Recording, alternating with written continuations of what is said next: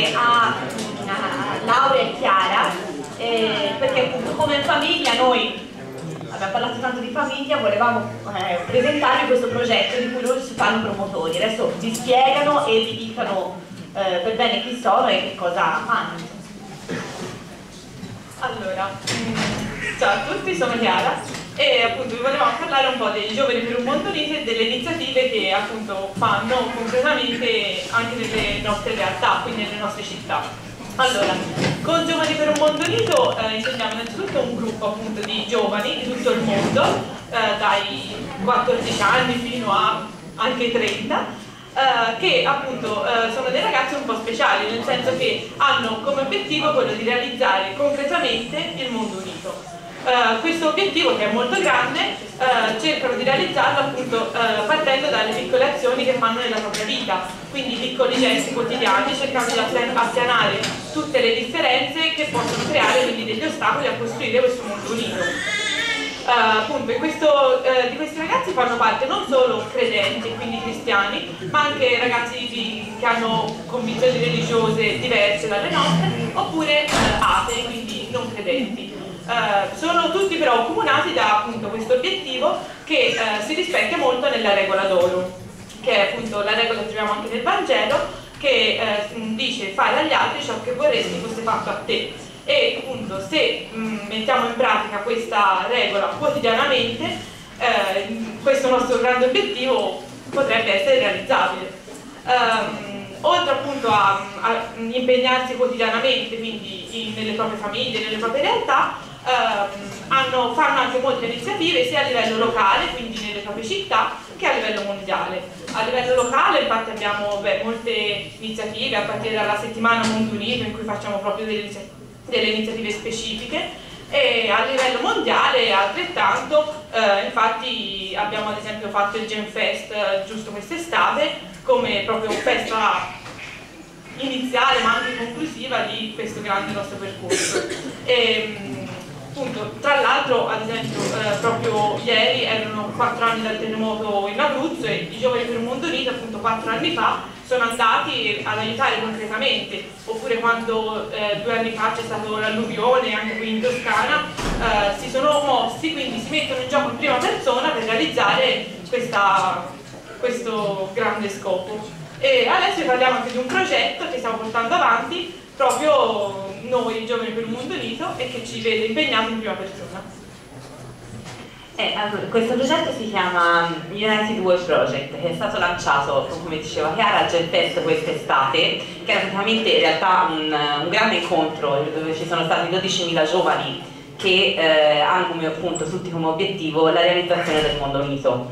e eh, vivere giorno per giorno la regola d'oro che come c'è nel Vangelo anche in altri libri sacri quindi è anche riconosciuta da tutte le altre grandi religioni. E, e, e che stavo dicendo? Sì, è, la regola d'oro, grazie. E,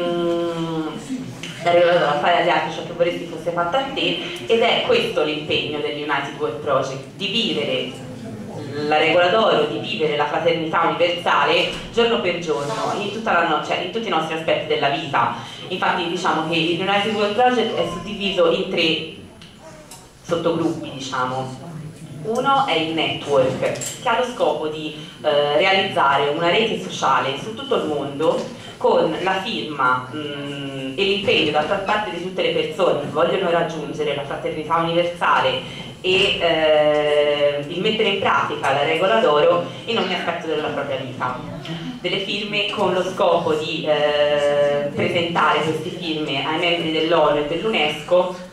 il primo maggio a Gerusalemme ci sarà una grande manifestazione eh, dove saranno presenti appunto eh, membri dell'ONU e dell'UNESCO al quale noi presenteremo le firme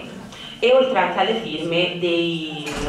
delle schede, delle schede dove sono presenti dei frammenti di fraternità. Queste, I frammenti di fraternità è un'altra parte del, appunto, di questo progetto, i frammenti di fraternità che sono ogni azione, ogni azione che noi facciamo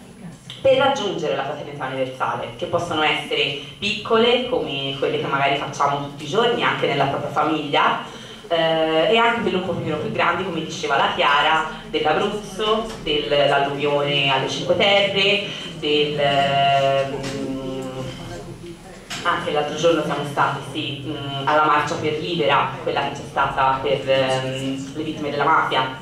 quindi anche la nostra partecipazione. Questi sono tutti frammenti di fraternità.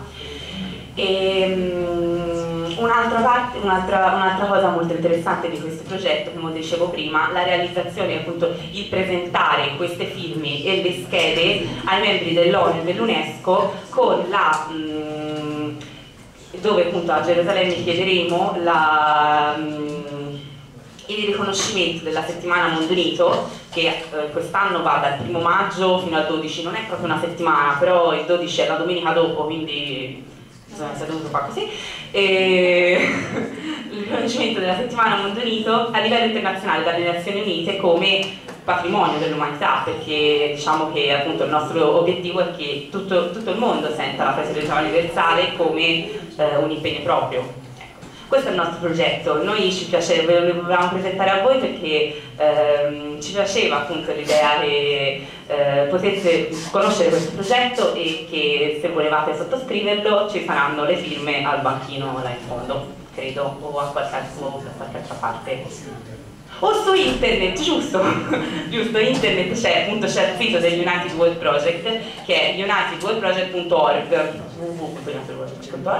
e appunto c'è la petizione online dove appunto si può eh, fare, eh, firmare lì, dove non c'è bisogno di grandi cose relative a nome cognome, eh, indirizzo, mail, ehm, non si è potuto fare una petizione un pochino più specifica perché essendo mondiale non abbiamo potuto mettere la carta d'identità o appunto mh, mm, riconoscimento personale perché in molte nazioni era un problema dal punto di vista di privacy, quindi abbiamo dovuto farla così ma appunto niente, è questo. Grazie, allora ci sarà un, un, un, foglio per le firme là in fondo e uno giù alla reception. Grazie mille per l'attenzione.